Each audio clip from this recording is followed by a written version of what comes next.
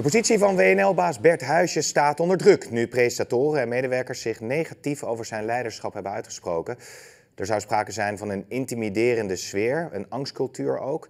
Eerder kwam WNL er ook al slecht vanaf in een rapport over grensoverschrijdend gedrag binnen de NPO. We gaan het bespreken met mediaverslaggever, columnist in onze krant Mark Koster. Mark, ehm, het is natuurlijk publicatie van het AD eh, geweest. Opvallend daaraan. Een hele trits aan bekende namen. Hè? Van eh, Eva Jinek tot Merel Westrik, Leonie Ter Braak, Roos Mogé, noem het maar. Dat is wel een eh, duidelijk signaal wat zij hebben willen afgeven in elk geval. Absoluut. dit speelde al veel langer. De dames waar ik een aantal goed van ken, die beklaagden zich al jaren, uh, sommigen daaronder, over de manier van hoe ze behandeld werden. En ze hebben dus nu bedacht, we gaan voor de record met z'n allen. Uh, ik weet niet of dat in overleg is geweest. Ik heb ook een eerdere versie gelezen van de AD, daar stond even Jinek niet in. Die staan er nu wel in. Nou, je weet ook een beetje hoe dat werkt, hè? Hoe, hoe bekender de, de, de naam, hoe harder het aankomt. Um, dus uh, nee, dit, is wel een behoorlijke, behoorlijke klap voor Bert Huis, is dat deze dames dit zeggen. Ja, maar even belangrijk natuurlijk zijn uh, de, de minder bekende namen die daar dagelijks op de werkvloer uh, rondlopen. Zeker. Redacteuren die dat ook anoniem hebben gedaan. Het gaat uiteindelijk om de angstcultuur die er zou heersen. Het gaat ook over zwangerschapsdiscriminatie. Vrouwen die zwanger waren en ja, als volgens de woorden van die vrouwen in onzekerheid verkeerden of en hoe ze dan konden terugkeren. Um, ja. Wat moet Bert Huisjes nu gaan doen wat jou betreft, nu al deze beschuldigingen op straat liggen? Nou, ik raad hem aan. Ik ken hem best goed dat hij toch even terugtreedt uh, om dit allemaal te verwerken. Ik, het, het, is ook de vraag in hoeverre uh, het nu nog speelt. Hè? Want uh, sommige van die sprekers die dateren toch van tien jaar geleden. Die zaten ook in de opstartfase. Dat is anders dan nu. Um, ik heb ook wel het idee dat het, dat het hem wel aangrijpt. En ik heb ook het idee dat hij soms niet helemaal begrijpt wat de essentie is van de kritiek. Um, dus ik, ik, ik, denk dat, dat, dat, dat hij echt eens even moet gaan nadenken of hij nog wel geschikt is om dit nu naar een volgende fase te brengen. Daar komt bij dat de Raad Toezicht die daar is, ja, toch ook al heel lang zit. Um, dat, dat, dat er toch geen, zuiver, dat er geen goede correcties meer plaatsvinden op de bestuurscultuur uh, ja, cultuur daar bij BNL. Ja, want dus ik, ik raad hem aan. Het is, het is een goede jongen, denk ik. Van Bert heeft, het, heeft BNL lekker in de markt gezet, maar hij moet daar toch wel even over nadenken. Dit zijn zulke ernstige beschuldigingen. En wat mij als journalist dan raakt, is ook dat ja, WNL toch ook wel uh, ja, journalistieke merites aangetast zag. Omdat er allerlei ja, marsorders waren, hè, journalistieke marsorders daar denk ik van, daar moet toch even over nadenken. En, en, het zou goed zijn dat hij ook gewoon zegt van, ik, ik, ik, uh, ik doe even niet mee. Nee. Uh, of is dat aan uh, de Raad van Toezicht, aan de NPO, om hem al dan niet tijdelijk op non-actief te zetten? Weet je wat het is, Pim? Die structuur van de NPO is zo verschrikkelijk ingewikkeld en ook daardoor zo niet transparant dat, dat de NPO-bazen, Frederik Levan, die, die zeggen wel dat ze het verschrikkelijk vinden, maar kunnen hem eigenlijk bijna niet wegsturen. Dit is een, dit is een vereniging. Hè?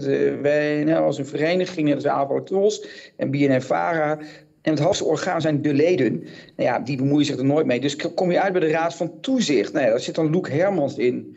Dat daar een commissaris. Ja, over die man is ook zeer omstreden geweest als een man die, uh, ja, die niet altijd even alert is bij het plegen van toezicht. Dus ik weet niet of het er beter door wordt dat deze mensen nu zeggen: ja, Bert uh, moet blijven. En uh, ik vrees het ergste. En ik denk ook echt, hij heeft er zo lang gezeten, vanaf 2011. Kom op man, je tijd is geweest.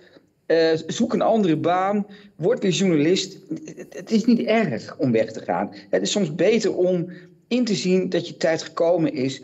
Um, en ik, ik hoop en, dat er ook mensen dat tegen hem durven zeggen. En ik hoop ook dat mensen dat op een aardige manier tegen hem durven te zeggen. En dat ze eigenlijk even zeggen: jongen, ja, je bent te ver gegaan met je gedrag. En dat weet iedereen ook. Dus hij moet daar toch zijn consequenties aan verbinden. En dat is een goed bedoeld advies. Hè? Dat is niet zo van, uh, je bent een monster of zo. Want dat is natuurlijk de andere kant van dit verhaal. Dat het ja, dat nu een soort collectieve afrekening is. Dat zie je ook bij Matthijs.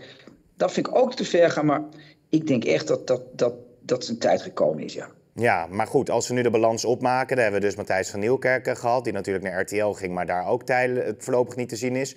Nu dan Bert Huisjes. Ja. Uh, je had het al ja. over een Avro-Trosbaas die al op non-actief is gesteld. Ja, waar eindigt dit? Ja, kijk, kijk weet je, het is je weet je wat is, Pim? Dat zijn allemaal, dezelfde, allemaal dezelfde thema's. Dezelfde variant op het thema. Dat was dan Erik van Stade, die bij de Avro-Trolls door de, daar de Raad van Toezicht werd gezegd... joh, je zit er al, al tien jaar, tijd om te move. Die ging ook heel raar om zich heen slaan. Dus wat je ziet is dat, dat de controlemechanismes op, op de macht van die mensen is heel slecht geregeld. En dat is toch vrij bijzonder als je naar de publieke omroep kijkt, waar een Moriarty in omgaat. Is dat, blijft dat bijzonder. Dat, dat er helemaal eigenlijk geen controle is, of een hele slechte controle, op controle door mensen die dan in dat netwerk van die omroepbaasjes zitten.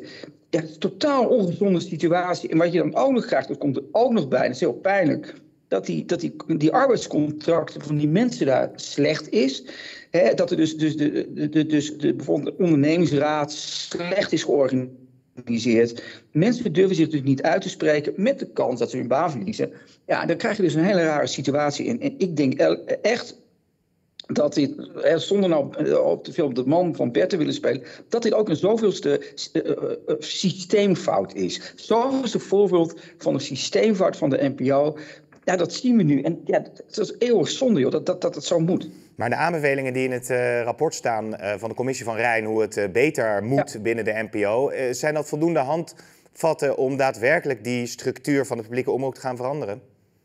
Ja, het zijn er 15 en, en, en kijk, het schoot nu wat door me heen. En je zag het vandaag ook. Ik geloof dat dat ook in het AD stond. Van, ja, die termijnen van die directeuren, die, moet, die moeten gewoon ja, gemaximeerd worden. Hè? Dus tot, tot twee keer vijf jaar of twee keer vier jaar.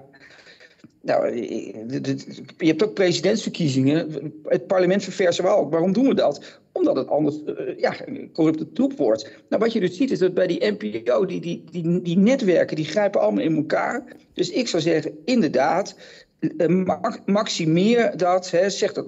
Je mag er twee keer vier jaar zitten. En dan moet je weg. Dan moet je een andere baan zoeken. Dan, dan, dan komt de betonrot ook in, in dat systeem. En het is ongelooflijk dat, dat, dat, bij WNL zie je dat. Maar je ziet het eigenlijk ook bij de publieke omroep. Hè, groot, daar is dan een baas, Chibi Joustra. Ja, die grijpt dan ook niet in. Dus, dus dat, hele, dat hele systeem van die checks en balances is totaal uit het lood geslagen. En dat zie je bij WNL ook. En wat je dus nu ook ziet, is dat die, die, die presentatrices nu nou, collectief dus eigenlijk wraak nemen. Uh, gaat misschien veel te hard, maar het, het, het broeide al zo lang, uh, Pim. Als je daar uh, soms rondliep, ik had er geen last van. Ik, heb, ik ben er ook uitgegooid door Bert, omdat ik kritiek had op, op de NPO, niet eens op hem. Ja, dat, dat is dan toch een, voorbeeld van, van dat je toch ja, in je eigen waarheid bent gaan geloven. Of in je eigen onfeilbaarheid. En dat is dus bij Bert aan de hand. Dat is ook bij meer van die omroepbestuurders aan de hand. Die mensen moeten toch echt eens een keer de hei op. En dat ze een keer spiegelwoord voorhouden. Jongens, je bent niet heilig. Jouw omroepje is niet heilig. Uh, doe, relativeer even je eigen macht en je eigen aanzien. Ja, dat zou heel, heel, heel goed zijn voor de NPO. Als daar gewoon wordt gekeken naar de inhoud van programma's. Dat je daar de makers de baas maakt. En af en toe heb je, heb je wat managers. Maar die managers, die, die hebben zich, die, of die baas, die omroepbasis. Ja, die, zien, die hebben gewoon een eigen koninkrijkje gecreëerd. En daar mag niemand aankomen. En Bert is daar voorbeeld van geweest. En dat weet hij zelf ook wel.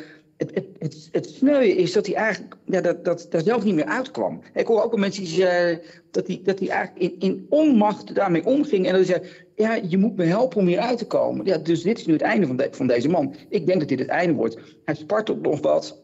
Ja. Hij gooit die raad van toezicht ertussen.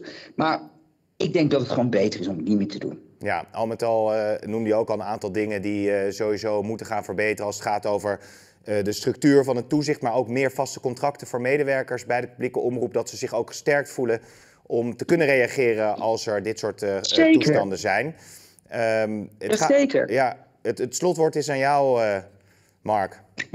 ja, nee, ik, zit hier niet, ik ben hier niet de zedenpreker of de, de dominee die de, de, de NPO wil verbeteren. Maar als je gewoon, als je dus, dus, dus, dus, dus tegenmacht creëert, ik zeg dat een beetje zwaar, dan heb je ook mensen nodig die, die sterk in functie zitten, die een, een jaarcontract hebben of misschien wel onbepaalde tijd. Dan kun je zeggen, Bert, donder op met je gezeur, dat doe ik niet. Als die weer zo'n VVD-prominent in de uitzending wilde. Omdat hij denkt, en dat bedenkt hij dan uit goede wil, dat WNL dat, dat, dat, dat imago moet hebben. Ja, dan kan ook iemand zeggen, ja, maar we gaan nu wel kritisch zijn op de VVD. Want als je van de VVD houdt en als je centrum rechts wil zijn, dan moet je ze aanpakken. Nou ja, dat ontbrak daar natuurlijk. Dus dat kun je alleen doen als je mensen in dienst hebt, goede eindredacteuren die, die zeggen nee, dat doen we niet. En dat zou gewoon beter zijn geweest. En ja, daar hebben ze, daar hebben ze toch veel te weinig aan gedaan. Ja, ja belangrijk is dat daar weer een veilige werksfeer in ieder geval uh, komt. Dat iedereen bij WNL op een uh, veilige manier zijn werk kan doen. Uh, Mark, dankjewel.